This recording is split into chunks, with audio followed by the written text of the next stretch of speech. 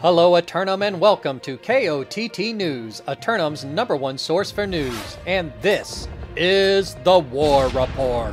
Dynamic change in the history of Eternum last night as the forces of washed degenerates streak through the attack and claim the primary oil reserves of Weaver's Fen. KOTT News were on the scene when it all went down and got a word with one of the participants. Thank you very much for stopping to talk to me for just a minute. Were you in that fight tonight? It really wasn't a fight, but yes. Yeah, I know. Would you care to take us through what happened out there? It doesn't. When usually when it's over that quickly, it's been a resolved issue beforehand, or a peaceful negotiation has happened. But uh, you seem to be in the dark about it.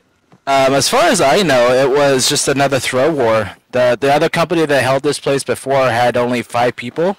I see. So it was just filled up with about 25 in total, and so it was a pretty clear victory.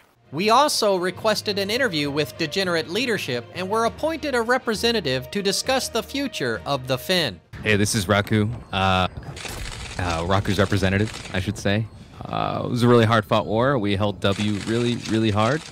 And uh, they just held S, just better than us. It's over pretty quickly. What are your intentions now that you've been given the Hamlet? Oh, man, they call this the swamp, but, you know, it's got beauty in it. You know, if you look around, you know, get some glowing shrooms, get some diseases here and there, but uh, it's a great swamp. We're gonna do tier five all because you know tier five all is great for everyone in the economy these days. Later in First Light, we caught up with the Spice Lords to discuss their efforts in their victory. Congratulations on your victory here tonight, holding it for the entire duration. How do you feel it went out there tonight? It went well. Uh, a lot of our folks showed up, and we tried to slot as many of our guys as possible. Uh, we're just getting ready for the new update, and it's nice to see a lot of my members coming out. So thanks for everyone.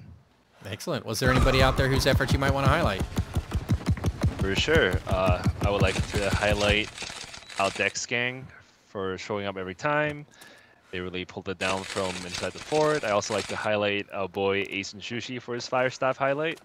He was on VG today, but we'll make sure he pulls out the fire staff next war.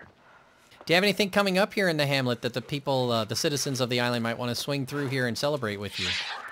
Yeah, we're working hard on uh, getting our town upgraded. I think right now we're in a good shape, so if anyone likes to pay us a visit, I'll be greatly appreciated. Uh, we're all ways around here.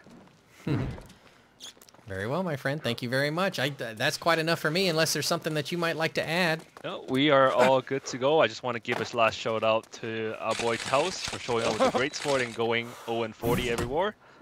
Call him the Mr. 40 Bomb. It was a nail biter in the nightcap, but Norivana forces were able to keep the fort flag from touching the ground in the final moments in Windsward. Brava and Alpha down in the first two minutes of the fight, but a 28-minute fight on the outer objective, and then maybe an extra six minutes inside the fort. How do you feel it went out there tonight? It was a good fight, John. Uh, definitely a lot of uh, adrenaline coming from both sides. Overall, um, I think it was a really, really fair, close fight. Honestly, one of the one of the more serious wars we've had on El Dorado in a long time. Yes, it was enjoyable to watch. How do you feel the uh, recent uh, lineup restrictions that were imposed by AGS might have impacted the performance of anyone tonight? Yeah, yeah. The bug with uh, people doing a war today and then not being able to get on a roster at all uh, uh screwed over people on both sides. So that's kind of annoying. Uh, you know, one, you know, a small indie development company, by the way. Quickly to the weather, and it's going to be a wonderful afternoon all day long as the sun crosses the Aeternum sky once more.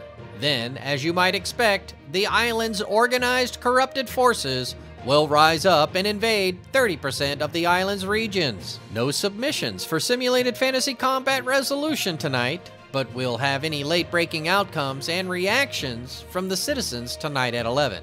Until then, this has been War Correspondent John Chalant, KOTT News.